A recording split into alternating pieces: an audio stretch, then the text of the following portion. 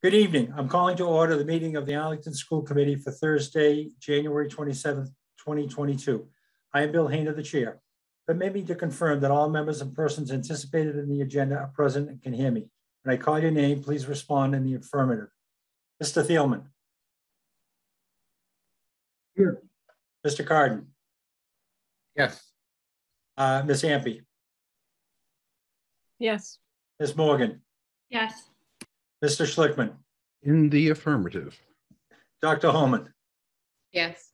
Dr. MacNeal. Yes. Mr. Spiegel. Yes. Ms. Fernandez from the AEA. Yes. Uh, and I don't see Ms. Exton at the moment. She'll be here soon, I assume. Tonight's meeting of the Arlington School Committee is being conducted remotely consistent with the act signed into law on June 16, 2021 that extends certain COVID-19 measures adopted during the state of emergency. The act includes an extension until April 1st, 2022 of the remote meeting provisions of Governor Baker's March 12, 2020 executive order suspending certain provisions of the open meeting law. The governor's order, which is referenced with the agenda materials on the town's website for this meeting, allows public bodies to meet entirely remotely, so long as a reasonable public access is afforded so that the public can follow along with deliberations of the meeting. Before we begin, permit me to offer a few notes. First, this meeting is being conducted via Zoom, is being recorded, and is also being simultaneously broadcast on ACMI. Persons wishing to join the meeting by Zoom may find information on how to do so on the town's website. Persons participating by Zoom are reminded that they may be visible to others and that if you wish to participate, you are asked to provide your full name in the interest of developing record for the meeting. All participants are advised that people may be listening who do not provide comment, and those people persons are not required to identify themselves. Both Zoom participants and persons watching an ACMI, ACMI can follow the post agenda materials also found on the town's website using the Novus agenda platform. And finally, each vote tonight will be taken by roll call. Uh, no one has signed up for partic uh, public participation, so we will go directly to the superintendent's entry plan. Dr. Homan. Great. Thank you. Give me a minute to share my screen.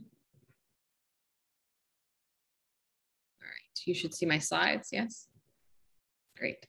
So it is my pleasure to present to the community members who are watching and to the committee uh, the findings from my superintendent's entry plan. If the um, committee and community recall, I had shared with everyone right as I had started in July, on July 1st of 2021, um, my entry plan, which included a lot of activities that had actually begun back in February of 2021 um, due to the transition contract that the committee had um, negotiated with me when I was appointed and gave me a lot of opportunities to get to know the Arlington community very well over the last several months. And I've really enjoyed that process. So tonight, my goal is to share with you, um, first to remind you of the process that I've undertaken over the last several months, and also to share with you some of the initial findings of um, that entry plan process.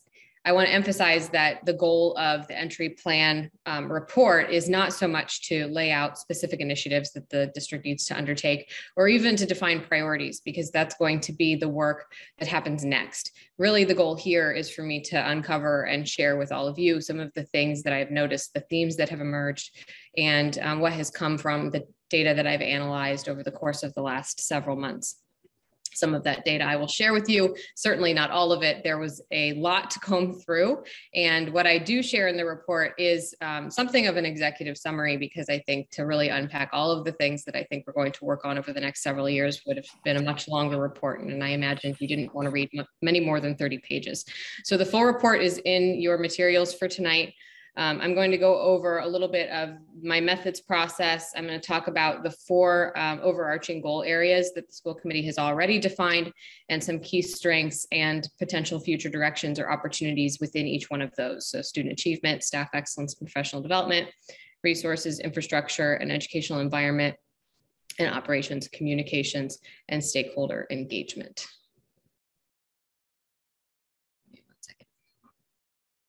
So to start, um, what I did over the last several months was a lot of focus groups with Arlington students, uh, K through 12 at all levels. Um, lots of family listening sessions with families. I had messaged these out to families, and many families showed up to. Excuse me. Hey, Liz. Hey, Liz. I We- think we- something's gone weird with your screen. Do you want to just unshare? and- There we There go. you We're go. Are we back? I got the overview. Has everyone else got it? I fixed it. Yep. We're good? Thank you. Thanks for flagging that for me. Okay, so uh, at least 20 focus groups with the students, seven with families, seven with staff, um, one-on-one entry meetings with administrators, visits to the schools. I visited every Arlington school, uh, many of them several times. It's been wonderful to visit the schools. It's my favorite part of my job, um, to go see what's going on in classrooms. Uh, I also looked at the climate and culture surveys that were conducted in fall of 2020 and fall of 2021. We also did a round of surveys in the spring of 21, but those were not, um, those didn't have nearly the same sort of level of uh, participation. And so I was really looking at the two surveys that we had done that had gotten the highest levels of participation. I took a look at achievement and accountability data for Arlington Public Schools, not just this year, but over the past several years, as, and several reviews and audits of the school systems, as well as budgets, financial reports, and other reports. Um, and the full litany of things that I looked through is also included in the entry plan uh, in a list there. So from there, like I said, I've organized this report around the four overarching goal areas of the Arlington Public Schools. So I want to start actually with the words of students as we look at student achievement. Um, the focus groups with students have really been the highlight of my last few months. I don't intend to stop doing them because they really have helped me gain a good understanding of how students are experiencing school. And I'd like to talk about the strengths that they named. Students across Arlington talked about how much they love their teachers and feel valued and cared for by them. They shared how their teachers help them when they are struggling with something and do not give up on them and continue to encourage them to keep trying. They shared how much they love opportunities to show um, and explore their curiosities and their passions and their interests, and really highlighted moments when their teachers had given them opportunities to explore something um, that they chose, that they were curious about and really wanted to go learn more about. The most memorable learning experiences for them were the ones that combined disciplines into projects with tangible outcomes, including they talked about performances, presentations, interactions with the community, or projects that they could take home and share with their families. And our students really feel like they're held to high standards by their teachers, that their teachers genuinely um, know who they are as people. And they talked about their favorite teachers as those who got to know them as people. One student shared an example of a teacher who uh, made it an assignment to set aside 15 minutes of time um, to have a conversation with the teacher and set the time aside as part of that, as a way of getting to know their students. And they felt like that was a really powerful instance in which they could tell that their teachers cared about not just who they were academically, but who they are as people. We also have some opportunities in the area of student achievement. We've had significant and pretty persistent gaps in achievement um, amongst certain subgroups, particularly our high needs students, our students who have IEPs, and our students uh, who are people of color. And we have declining achievement in mathematics, and this is particularly notable throughout the pandemic. Though we exceeded targets in 2019, and we have been given academic targets for the coming school year. Um, 2019 was the last year that the state reported accountability data. The pandemic has definitely had an impact um, on, and time on learning in mathematics is not even with time on learning in ELA, particularly at the elementary level. Um, so that could be something that we take a look at in the coming years so that we can make sure we continue to exceed targets in mathematics um, alongside that 2019 trend. Uh, gaps in specific areas of ELA achievement also stood out, um, particularly for certain subgroups. In particular, vocabulary and informational text comprehension are areas of concern. They have been when we've disaggregated MCAS um, findings, and they are also highlighted here in this slide. This slide shows reading assessment performance on the fall 2020 and fall 2021 iReady assessment, which is a formative assessment that we conduct multiple times per year at the elementary level. And what you will notice is that from 2020 to 2021 in the areas of vocabulary and informational text comprehension, we uh, see our students have slipped. There are fewer students who are performing at or above grade level in third grade, fourth grade, and fifth grade in these domains. And um, there are some curricula that are designed to meet the demands of the frameworks in these areas in order to prepare students for increasingly complex informational texts in the upper grades. And as I shared in the uh, findings report, the curriculum that Arlington Public Schools currently uses has not been rated very highly in these areas. And so it may be something for us to look at as part of a collaborative community conversation in the coming years. When it comes to staff excellence and professional development, staff professional culture in Arlington is extremely strong. It was really encouraging to see that staff are reporting improvements in well-being as, we, as we've returned to pandemic uh, teaching and learning. I won't say post-pandemic yet after the Omicron um, situation that we just went through, but it is encouraging to see that as we return to in-person learning, as teachers return to classrooms, they're seeing their well-being improve and their investment in their work improve. Teachers expressed significant esteem for their colleagues and appreciation for time that they spend collaborating both with administrators and with their teacher colleagues. And families and students talked about how wonderful Arlington's teachers are, as I talked about um, when we were talking about student achievement.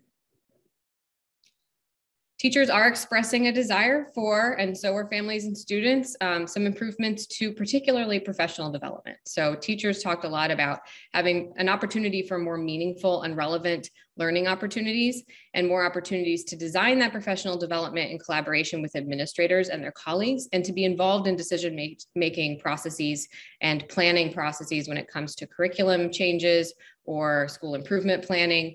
Um, they really wanted to be involved in that. And families agreed. They noted that instructional consistency is something that Arlington Public Schools could take a look at and improve. And they said that if teachers across roles, across special education departments and across disciplines and across grade levels had more opportunities to work together on common goals, that they believe that instructional consistency would be improved. Families raised um, instructional consistencies as an equity issue as well that particularly impacts students with IEPs.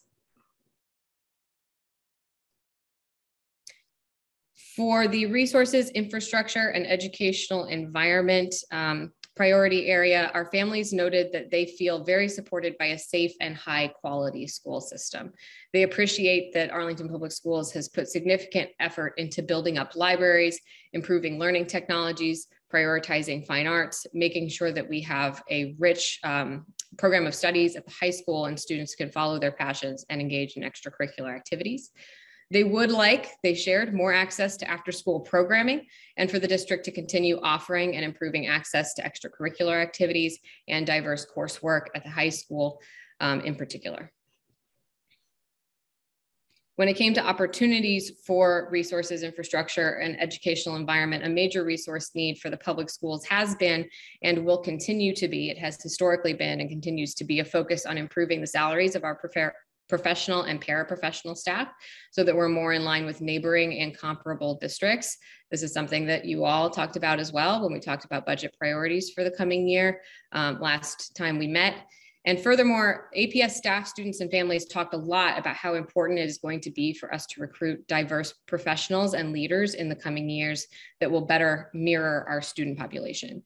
These two areas of opportunity are things that I see as, and many of the stakeholders I talked to saw as closely linked to one another because competitive salaries are more likely to attract diverse and talented staff from neighboring districts. Um, and so if we're going to diversify our staff, it's also going to be important for us to have competitive salaries with neighboring communities. And when it comes to operations, communications, and engagement, the collaborative relationship that we have between town and schools came up in several interviews and has been evident also in the work that I've been doing, my early collaborations with town commissions and elected officials. The town has passed multiple overrides that have directly supported education and the building of a beautiful new high school. Um, town departments have collaborated with the schools both proactively and in crisis situations, and I've had a front row seat to that. We've had excellent collaborations with the Health and Human Services Department that I believe are directly creditable to the fact that Arlington has the highest pediatric um, vaccination rate in the state and has continued to for the past several months.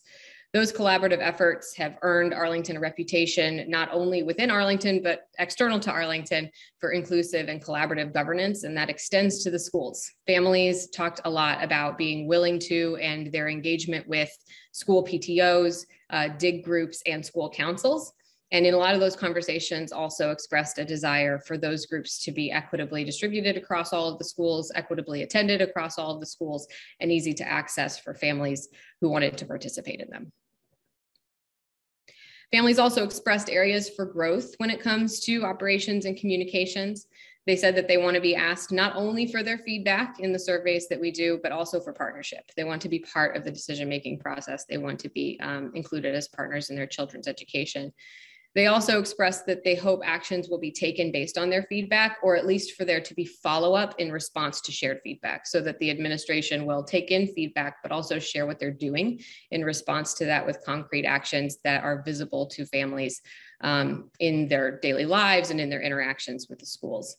Multiple families, students, and teachers expressed that those with resources have an easier time accessing collaboration and engaging with the schools in Arlington, and that for dual working families, um, communication and collaboration can be challenging to access. And so, with that in mind, they expressed a desire for the schools to work on transparency in messaging and initiatives, uh, share things early and often and as concisely as possible, make communications available in multiple formats and convey necessary information and clear action steps that families need to be taking and to partner with families as much as possible in with two-way communications and opportunities to um, meet with teachers meet with administration when they have concerns so those are, that is a very um, high level overview of some of the findings that are uh, outlined more comprehensively in the larger report that you all received in your materials. And with that, I will stop sharing and take any questions from the committee. Thank you, Dr. Homan. Do any of the members have any questions or comments they'd like to share with Dr. Homan? Mr. Thielman. Thank you, Dr. Homan. That was very helpful, comprehensive. Thanks for taking all the time to meet with so many different stakeholders in the town. Um, I, you know, the student achievement, the opportunity slide was uh, it was you brought information that I hadn't seen in a while, or or maybe I, I missed, um, and that was the percentage of uh, students uh, performing uh, mid or above grade level in third, fourth, and fifth grade in um, reading assessments, especially in vocabulary and uh, compre comprehensive informational text, comprehensive comprehension of literature. And I'm I'm kind of wondering where you know what your thinking is and, and how you're thinking of addressing it because some of the some of the percentage are, are, are I didn't I, I, didn't see I didn't I never saw it break broken out this way before maybe I missed. Um, I may, I will start answering this and I'm going to ask Dr. MacNeal if he wants to weigh in because that chart that you're looking at is one that he actually developed and oh. has done some analysis on. Um, and I'm very grateful for that because he knows his stuff when it comes to this instructional improvement. What I will say about that particular chart and what it's conveying is that it's conveying two things. One is that there is an area for improvement in the domains of vocabulary and comprehension and informational text. It's also conveying that there have been significant improvements to phonological awareness, phonics, and high frequency words, which are foundational literacy components that the district has worked on um, com comprehensively over the last several years and has done a lot of really spectacular work around. So it's showing that the work we have done has been really strong and that the domains that are left for us to look at and consider are those around vocabulary and the comprehension of informational text. And those can be addressed through how the literacy curriculum is organized and what literacy curriculum you are using and how it builds informational texts into what students experience every day alongside narrative texts. And so one of the things that I highlighted in the report was the fact that we're currently working with a curriculum that in these particular domains has been critiqued by various curriculum um, organizations that do audits and analysis of ELA curriculum resources for schools. So that could be something worth examining further. But this analysis also shows the 2020 versus 21 against one another. And that was actually, I think, the reason Dr. MacNeal did this analysis was to look at how are we doing in fall of 2020 when our students were in a position where they were in hybrid or remote, and how are they doing in 21? And so, Dr. MacNeal, do you have any other pieces to share about how what you're noticing in that data because he did that from ELA math across grade levels, across domains. So yes, thank you. So we, we the data that we used in iReady, went, a lot of that went into how we um, looked at the various uh, standards that we're going to focus on for this year.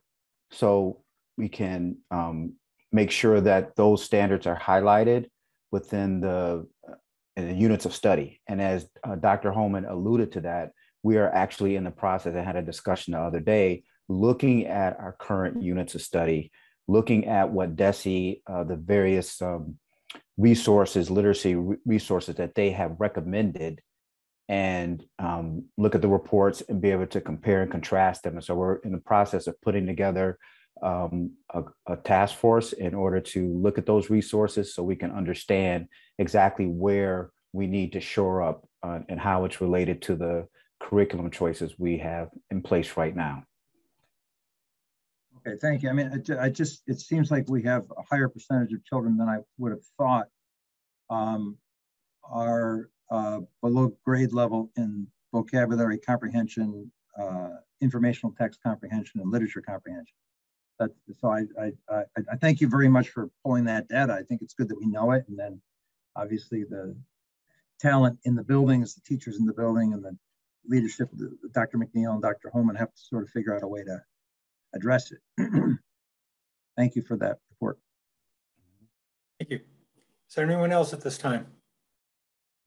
Uh, Mr. Kardon and then Ms. Morgan. Uh, thank you, and thank you, Dr. Homan, for uh, again meeting with so many groups and uh, doing such a, a, comprehensive entry plan in the middle of a of a pandemic. So it's quite a great accomplishment. I, I just had a sort of a question comment. The the safety data was from uh, the family survey. Was that the the panorama survey done last spring, or was there one in the fall? That was the one that we just did this fall. Just did this fall. Okay.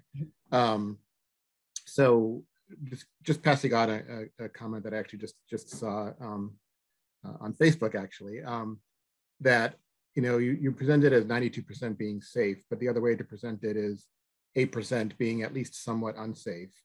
Um, and I, I, you know, I think our other data shows that we probably know the populations that uh, that are feeling unsafe. It's it's it's you know um, minorities, LGBTQ communities. So I do think you know with with our social emotional um, uh, initiatives that that's something to keep an eye on as well. I just wanted to pass that on. Thank you. Agreed. Thank you. Ms. Morgan.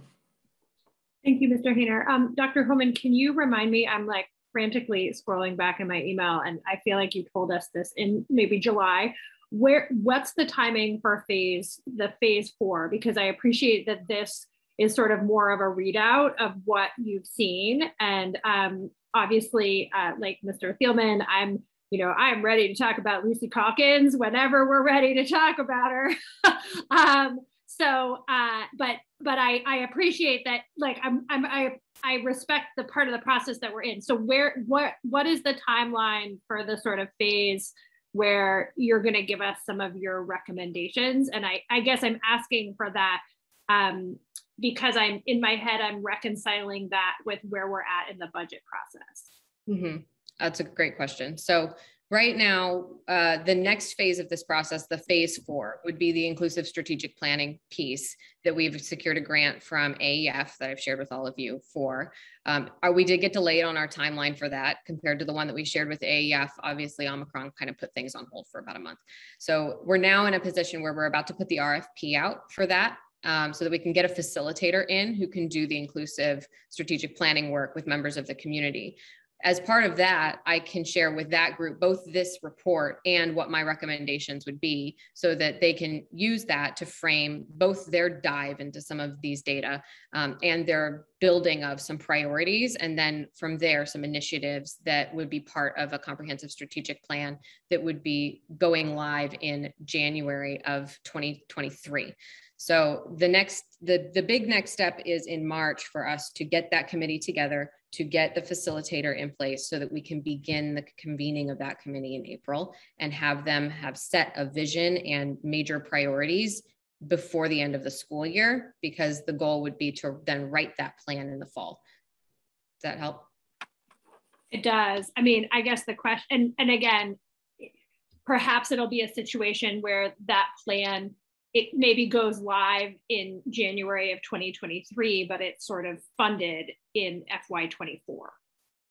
Yes, but I would also say that, you know, we have not planned the FY23 budget with any of, like, we've planned the FY23 budget with these findings in mind. These yes. are things that we've, a lot of these things we've discussed at length. Rod or Dr. MacNeal just referenced that we just had a meeting the other day about the literacy work that needs to happen and some auditing work that needs to happen. And so I would say a lot of the things that we know we need to get working on are things that would be funded as part of the FY23. It's that the the specific initiative planning would yeah be funded in FY20 as part of the FY24 budget.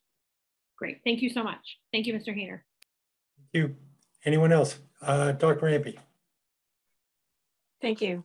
Um, thank you, Dr. Homan, for this comprehensive plan and for your quick summary. Um, I just wanted to comment on one. So I especially enjoyed hearing about the recommendations for the communications because I feel that's something that families are families have been concerned about for a long time and I feel there's already been significant movement towards that um, just in the time you know in, in the past few months that you have been doing the very directive very directed, transparent communications. Um, and I look forward to that continuing. One thing that I wonder though is when families say they want to be a partner in education, I, I feel like I wonder what they mean by that. And I also wonder if everyone means the same thing and if we're meaning the same thing when we say, because I know I've had one family come to me and say, you know, I learned, you know, I, I do this and I'd be happy to come in and teach my son's kindergarten about it. And that just wasn't going to happen. Um, and so, and to me, I think that's what, you know, she was trying to be a partner. And so I guess, I guess I'm pushing for, as this goes forward, I think we need to have clear understand, you know, partner is, is too broad we need to understand what people mean when they say that and and communicate that too. So that's all. I can i respond to that? Um I, in the context of so i did probe you know when people said what what does partnership look like? And i think in the context in which a lot of um, folks i was speaking to raised this particular area of improvement it was in the context of a challenging set of interactions that they had with the school or with a particular staff member or in trying to work out an iep disagreement for example.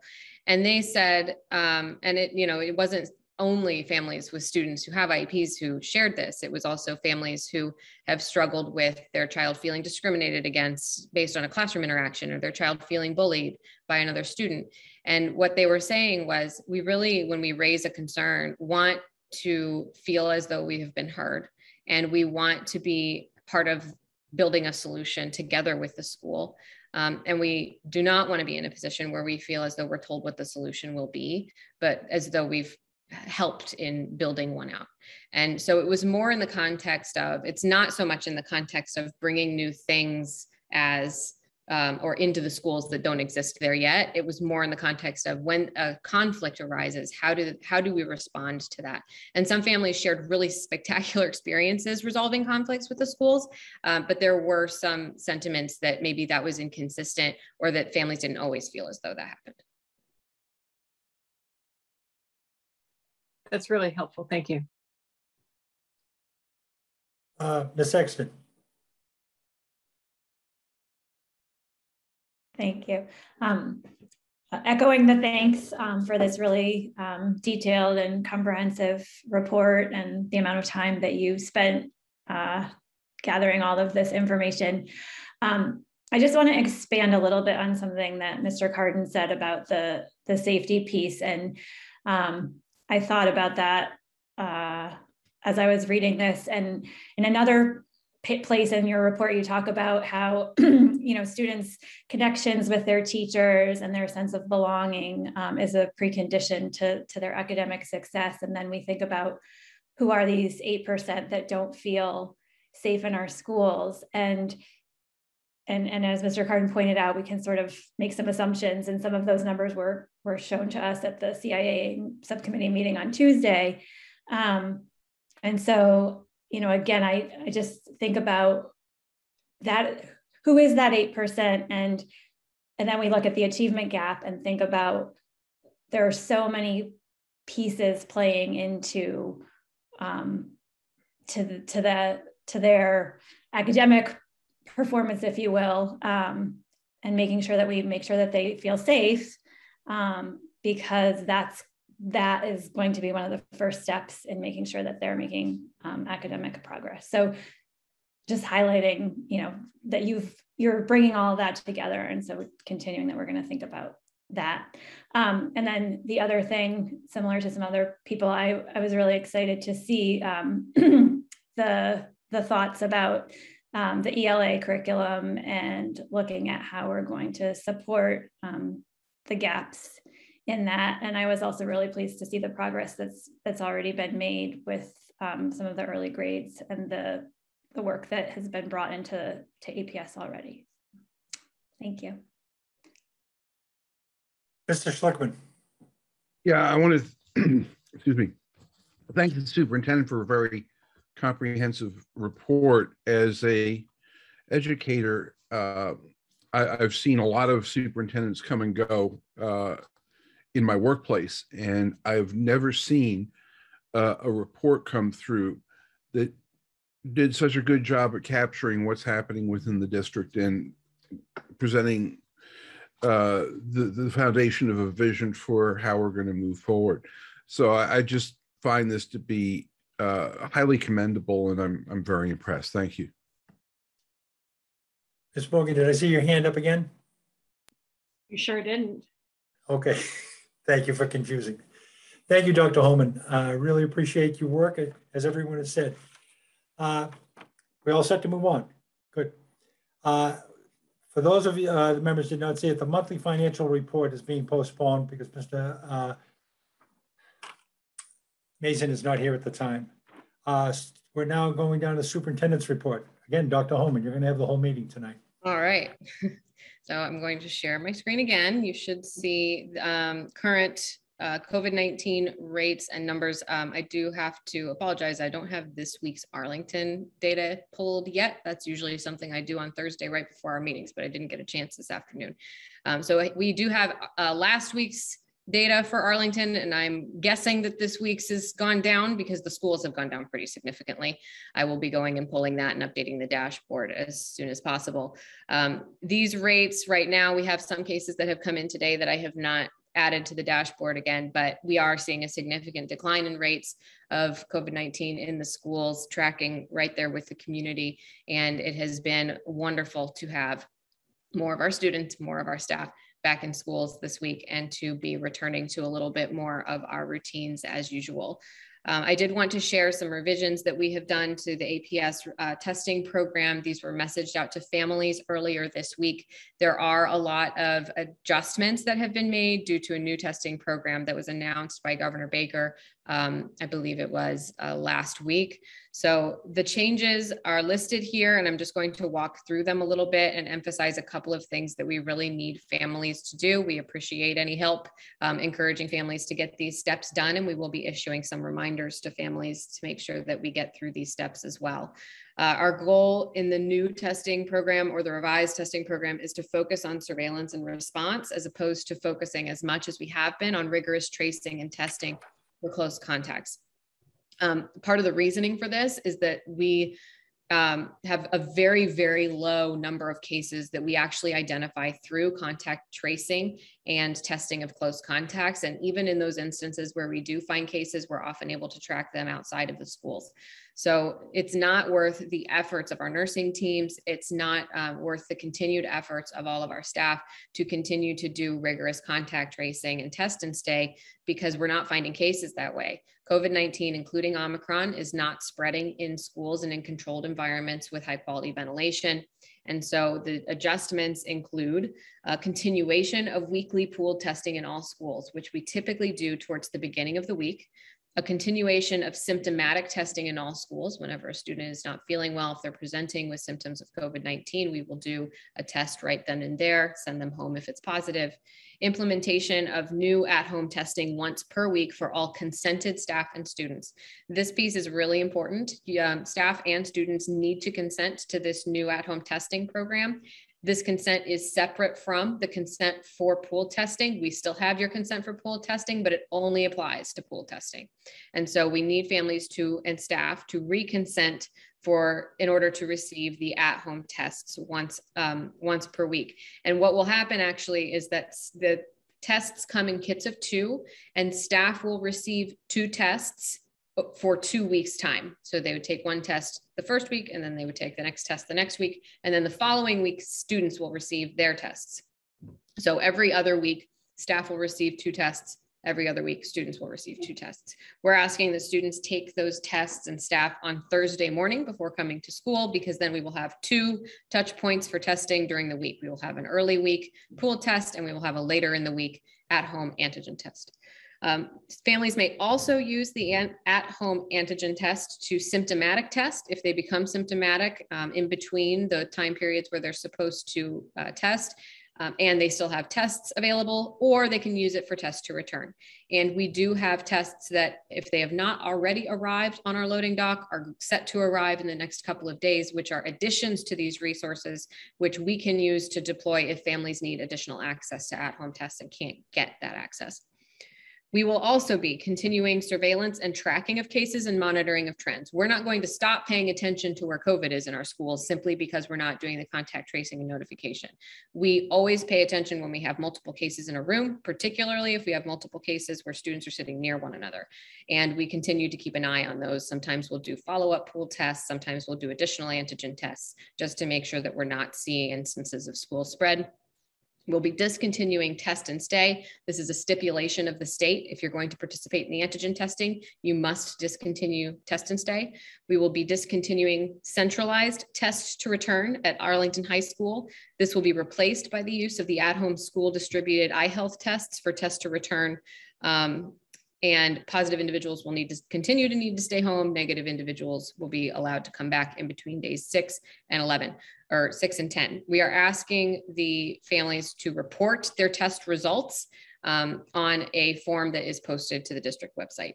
And we will also be discontinuing contact tracing. So those are all of the changes. There are a lot of changes to keep track of. If you have any questions about the adjustments, please don't hesitate to reach out to your school's administration, um, to our offices or to your school nurse's office a couple of additional updates besides just stuff related to testing. Um, the Arlington Public Schools, this is very exciting. Um, we were surprised to learn that we were awarded a $350,000 grant from the state, from DESE, in a competitive grant uh, related to supporting students' social and emotional learning, behavioral and mental health and wellness through multi-tiered systems of support. This a large resource is going to be used to support social and emotional wellness through the course of this year, including some responsive classroom training for teachers who have not yet undergone responsive classroom training, um, some additional staff just for the rest of this school year, uh, and additional mental health supports that we have proposed as part of the grant. This is to be expended by June of 2022. So these resources are only for this school year, and we will be doing our best to make sure they are put to good use um, and we certainly have the needs presented. So we're really excited about that.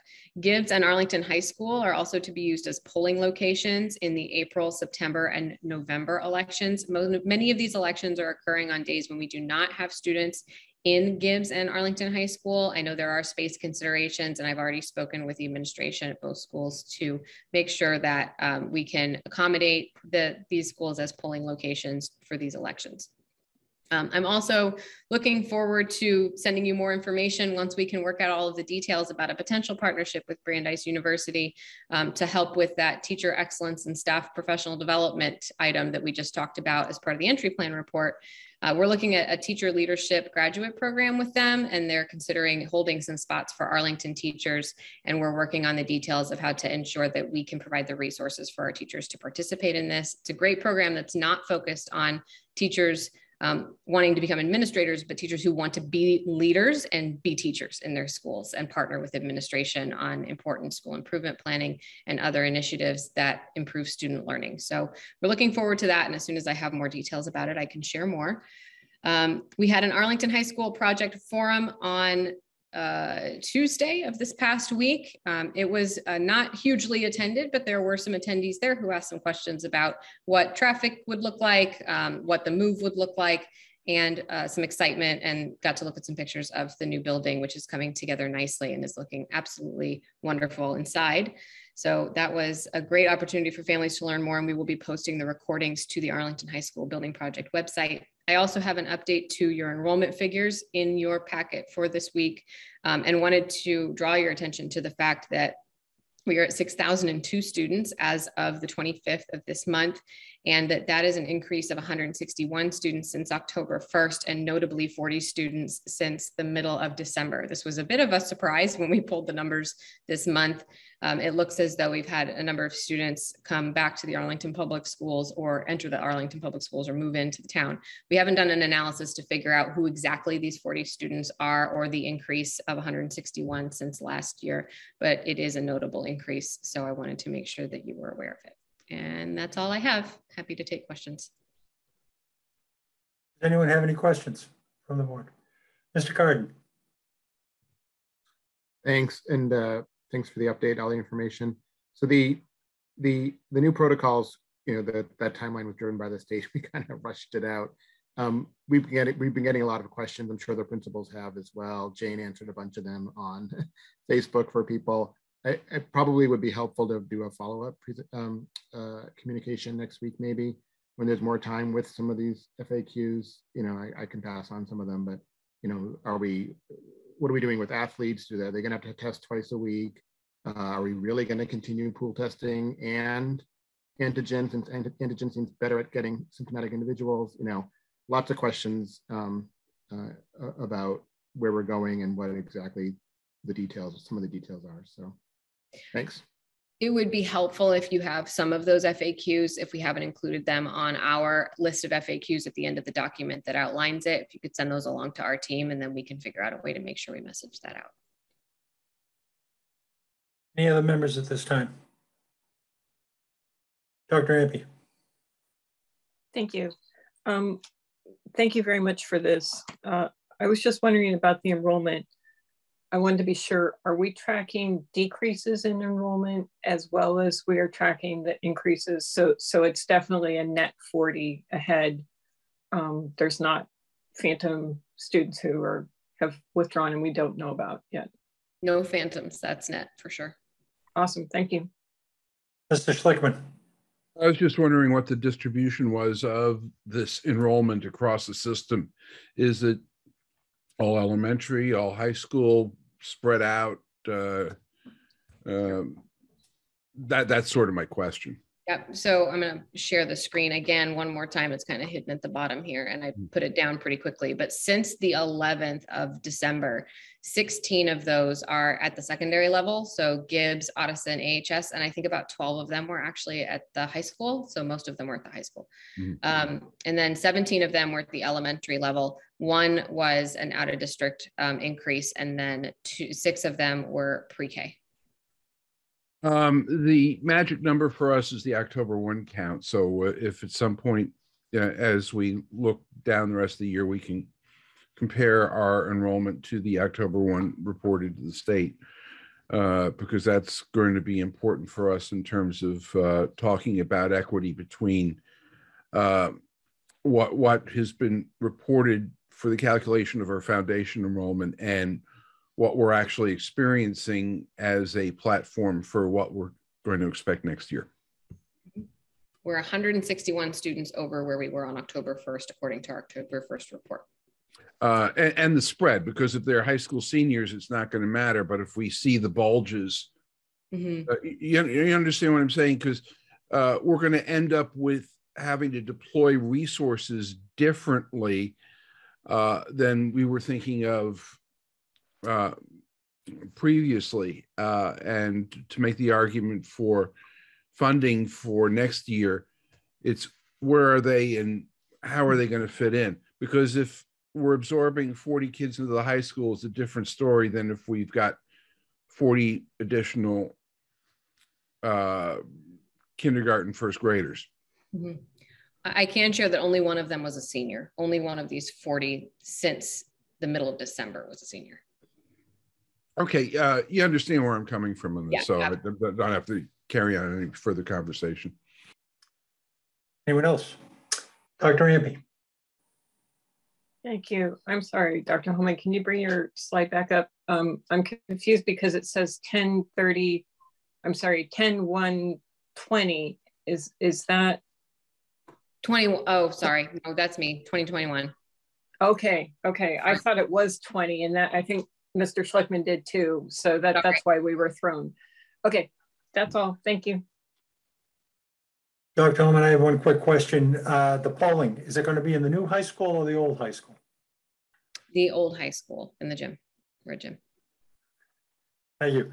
Any other questions this time? Okay, thank you, Dr. Homan.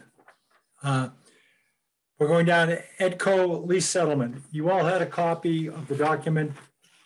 Uh, That document represents um, almost a year of negotiation with, uh, between Edco and uh, the company that owned the building. The lease had several years still on it, and so the negotiation uh, ended up with the figure uh, at the top of the page and then reduced. And uh, Arlington's assessment. I will attempt to answer any questions for you prior to having a vote to approve this amount of money.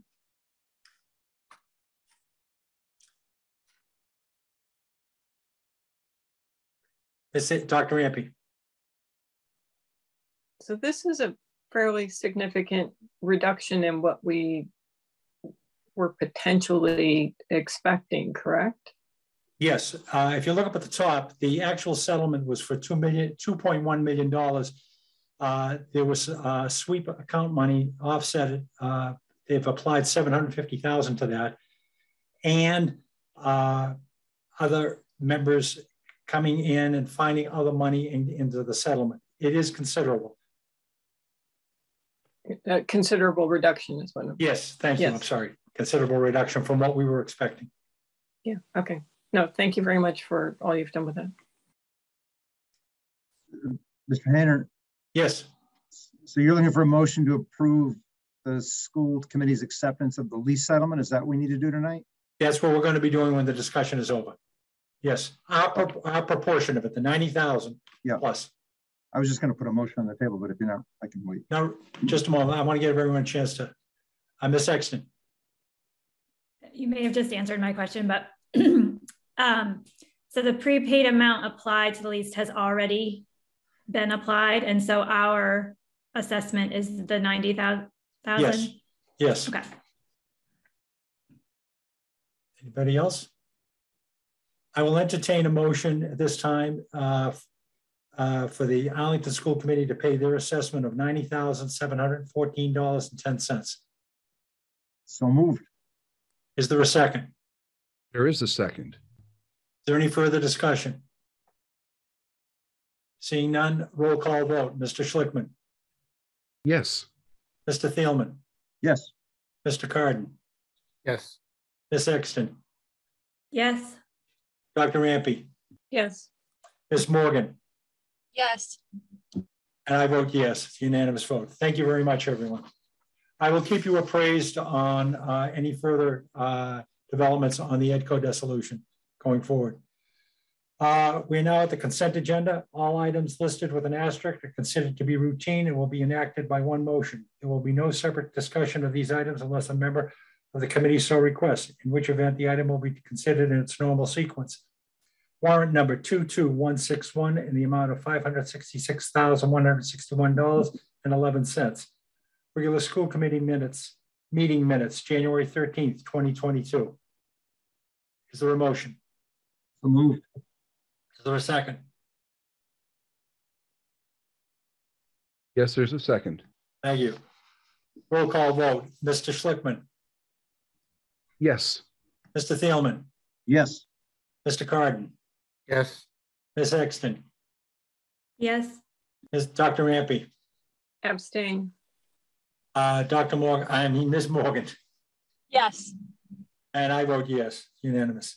Subcommittee and liaison reports, uh, budget, Dr. Ampe. Um, nothing, just a moment. Okay, I'm gonna have to talk really quickly because I have to go pick up a daughter from a meet. Just, I'm sorry, I, there, okay. Um, we don't, I don't have anything to report for um, budget itself, but I, since I wasn't able to be at last week's meeting, or I mean, the meeting a couple weeks ago. Um, I just wanted to mention what my priority for the budget was. I, I concur with a lot of the ones I heard you folks mentioned. but the one additional thing I wanted to say is actually my highest priority for FY23, which is ensuring that our in-district special education services are appropriately, resourced to the level and breadth of our students' need, including staffing and equipment. Um, and I, I don't know how to check if there is a mismatch, but I just, I hope that we are looking at that and um, Ms. Ulmer, that you're advocating as strongly as possible for whatever needs you feel are not, it could be filled better. Um, I'm not trying to say we're not doing anything right, but anyway, that that's so that is my priority. And then in terms of budget, uh, we I expect we'll be meeting in the next couple weeks, but don't have anything scheduled yet. Thank you. Community Relations, Ms. Exton. Thank you. Um, we have another school committee chat on Saturday during the snowstorm. Um, on January 29th at 11 a.m., Mr. Hayner and Mr. Kardon will be hosting, and we especially invite families of color to join us, and hopefully the power works so that this can happen. Yes. Thanks. Uh, Thank you. Do you want me to report on the chat we had on Tuesday? When I do that, when I do that now. So Mr. Thielman and I had our a weekday chat on Tuesday. Um, uh, Ms. Exton in our committee had scheduled that to uh, give an alternative to parents who might not be able to make it on a Saturday. So we did have two parents attend, um, and both did say that the weekday was was easier because they didn't have the kids around. Um, uh, they're they both expressed um, questions about the uh, heterogeneous um, initiatives uh, and wanting more information about what, what the next steps would be, when there would be opportunity for parental input and uh, things like that. Um, uh, Jeff, was there anything else that you noted? No, That was, that was the topic. That's what they wanted to talk about, was the process for uh, making decisions about heterogeneous groupings at the high school. Yeah. Thanks. Thank you. Curriculum instruction, assessment, and accountability, Mr. Kardon. Thank you. Um, so we we did uh, address heterogeneous grouping initiative at the um, uh, CIA meeting. Um, I don't know that we have a definite plan on when there will be parental input, but um, that was what that was part of the feedback that um, some of the committee members gave to the administration um, was that there should be more communication about uh, what the next steps would be and when that would happen. Um, there is a document on Novus if people are interested. Um, uh, the links aren't available. The links aren't, there are links to other materials within that document that aren't working that we'll have to figure out a way to, to post. But um, uh, Dr. Jang Janger did present about um, the work of the study group. They've met four times um, uh, and uh, they are uh, doing a literature review, meeting with the different, the next step is to meet with the different departments that are involved. Um, and so there's more work going on. And uh, again, the committee gave some feedback about um, different ways the process might um, continue. Uh, we also received a report on um, the panorama survey, um, some interesting, um, they do a sort of a heat map of areas where um, different subgroups uh, are noted notably off from the average. So again, there's some interesting material there for people who weren't able to attend. Thank you. Thank you. Uh, Facilities, Mr. Thielman. No report. Policy and procedure, Mr. Schlichtman. Uh, in, in our email today, we received a copy of the uh, memo that uh, Doug Heim, our town council, sent to the select board pertaining to Shurtleff versus the city of Boston. As you're aware, when we rewrote our banner policy, uh, we had the town council work with us to write the policy so it conforms to the current thinking regarding issues of uh, uh, government speech and and ensuring that we can maintain control over our uh, our facilities. Uh, if there is a Supreme Court decision that does not align to our present policy, we'll need to come back and look at it. But at this point, our policy is aligned to the current legal thinking uh, at, at the time. So uh, be aware, watch for that, and we'll see what the uh, Supreme Court does. Thank you. Arlington High School Building Committee, Mr. Thielman. Yeah, so uh, we had an excellent, Dr. Homan alluded to this, we had an excellent, or mentioned this, we had doc, an excellent forum uh, the other night, and uh, Dr. Homan and I and a member of our uh, committee had a chance to tour the facility last week, I guess it was maybe two weeks ago now, and it's really, it's, it's spectacular. I mean, it's really just, I think when we get the chance to walk through it together uh, or apart, or how we do that, I think people are just gonna be blown away by how, uh, how beautiful it is. So uh, it's on time, it's on budget. Our next meeting of the building committee is uh, Tuesday, February 1st at 6 p.m. on Zoom. And uh, if you want to tune in and get an update on where we're at, we hope you join us. Thank you. Any liaison reports at this time? Any announcements? I have one announcement. The Rotary Club of Arlington, a week from Saturday on February 5th, will be doing a polo dunk for raising money for polio. And uh, the chairman may, of, of this committee may not be in the next meeting because I'm going to be part of that polo dunk. So anyway, moving on. Are there any future agenda items? Seeing none. Um, The school committee will be entering executive session and will not be returning to open session. We will be entering executive session to conduct strategy sessions in preparation for negotiations with union and or non-union personnel or contract negotiation with union or non-union, which if held in an open meeting may have a detrimental effect to conduct strategy with respect to collective bargaining or litigation in which if held in an open meeting may have a detrimental effect. Uh, Roll call vote. Uh, Ms. Exton, We need to make a motion. Yeah, thank you. Motion to, I will entertain a motion to uh, enter executive session. So moved. Thank you. Is there a second? Thank you. Ms. Exton, Yes. Dr. uh, Ampe, Mr. Thielman, Yes. Mr. Kardon. Yes. uh, I'm a Mr. yes Schlick- too. Thank you. Mr. Schlichtman, I vote in the affirmative. uh, Ms. Morgan, Yes. Mr. Hayner says yes. We're moving into executive session. Thank you, everyone.